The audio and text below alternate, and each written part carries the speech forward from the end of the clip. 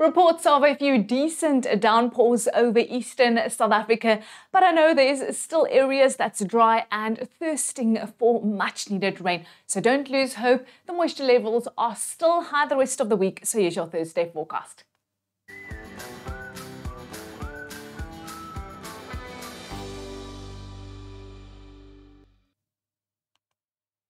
It's not only a trough extending over the western parts of South Africa that's transporting moisture. We also have this high pressure system in the Indian Ocean that's also pushing in some moisture and cloud for the eastern areas of South Africa. Therefore, we are expecting showers and thunderstorms to continue overnight into Thursday morning, with most of the rain falling over parts of northwest. A few scattered showers also expected to bring relief over Gauteng, Limpopo, and Mpumalanga, and then becoming a stormy here over parts of KwaZulu-Natal. Up until Friday, models are indicating that another 50 millimeters are likely over the eastern and northeastern parts of South Africa. But for this Thursday, scattered showers expected since early to move over northwest as well as parts of Limpopo and Mpumalanga. And this includes Gauteng, except for the extreme southwestern areas, and then thunderstorms becoming scattered to widespread here over parts of the Free State as well as KwaZulu-Natal. And it's there where the Weather Service has issued a level 2 yellow warning for the possibility of severe thunderstorms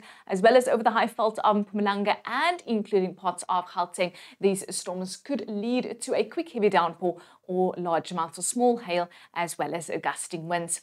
Starting with your forecast in the Western Cape, we're expecting a lot of sunshine and heating up the afternoon, but we are expecting a southerly wind to pick up along the coast, 24 degrees in Cape Town, later winds turning a southwesterly and blowing fresh in parts of the west coast as well as the Karoo. Runaway fires a risk on Thursday and onshore flow for the southern coastline with temperatures in the mid 20s, heating up in Beaufort West as well as Net. A few thunderstorms expected over the extreme northwestern parts of the Eastern Cape. Most of the storms expected north of the escarpment over Komani, Aliwal North, as well as Kua, and also a light onshore flow light bring in some drizzle for the coastal areas. A coastal low also resulting in an onshore flow for Durban and then winds turning northerly for Richards Bay. More showers expected in the morning, mainly sunny at first and then becoming partly cloudy and stormy in KwaZulu-Natal, especially over the northern areas in the vicinity of Newcastle as well as Vryheid. Mostly cloudy skies with more scattered showers and thunderstorms expected to move over Mpumalanga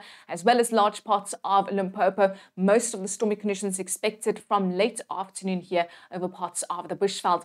A few thunderstorms overnight into Thursday, moving over parts of northwest. Later, partly cloudy day, temperatures in the mid 20s with thunderstorms redeveloping from late afternoon. In the northern Cape, a southerly wind blowing moderate to fresh along the coast and a southwester picking up, especially in the Karoo.